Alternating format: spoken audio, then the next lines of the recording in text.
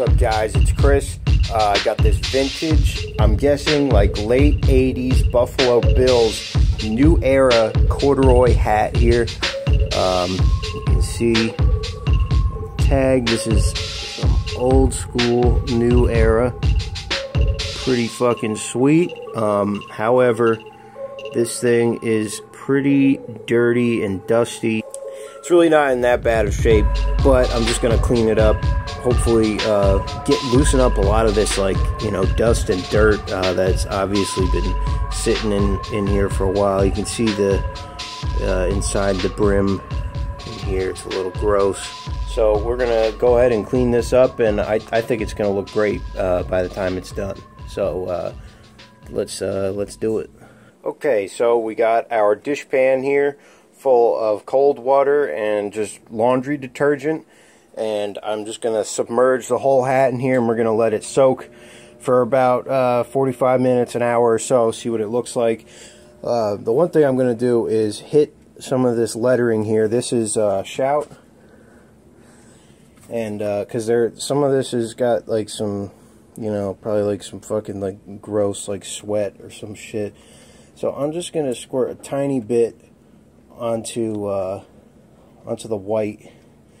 Hopefully uh, brighten some of that up a little bit. Alright, so well, I'm just going to go ahead and dunk it right in there.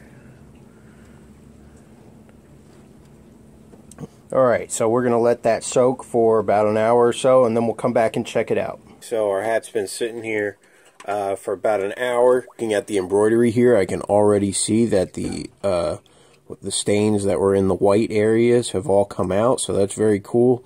Um, there's still some kind of shitty areas, like over in here and here on the brim. Um, you know, a lot of this might not come out, but we can hit this in here. Uh, that looks kind of weird down in there.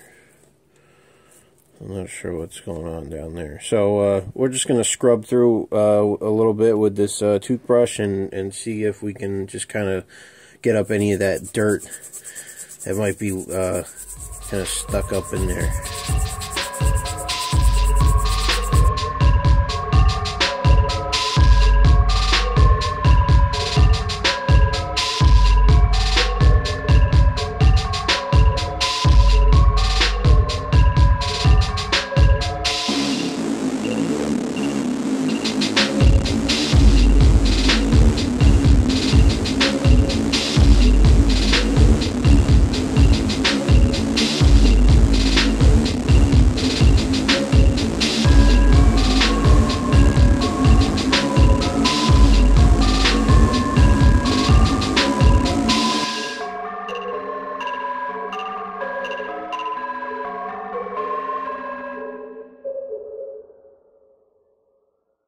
Okay, so whatever all that shit was, we got it all out, and the hat looks totally fine. So we're gonna uh, dry it. We're gonna pat it dry, and then uh, put it on a fan, and uh, hopefully let it dry overnight. So right now, I'm just gonna stuff the hat with some towels so it holds its shape.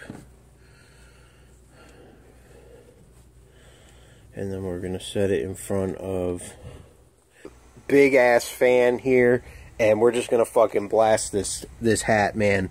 Uh, like I said, some you know you got to improvise a little bit sometimes, um, you know. But I think this is gonna work out great. All right, so the hat's all done. I'm really, really happy with how it came out. We actually were able to regain the shape of the brim um, and also uh, kind of get some form back uh, in the, the structure of the hat. So, um, like I said, really, really happy with how it came out. It was mostly just dusty and dirty. Um, and uh, I didn't get all of the yellow out here, but it's hardly noticeable now. Um, and then I did go back and scrub inside the band here because um, it was still a little a little dirty, but it's uh, it's nice and clean now. Um, and as you can see, uh, in let me brighten it up. Uh, the mesh inside here, we had all that uh, weird shit gummed up in there that was like some kind of uh, glue or or uh, who who knows honestly, but um, doesn't seem to have affected anything having to get rid of all that shit. So I think we're good. Um, uh, we don't want any of that uh, that shit flaking off and getting into people's hair when they when they wear this. So um, I think that's it. Uh, so thank you for watching, and uh, until next time.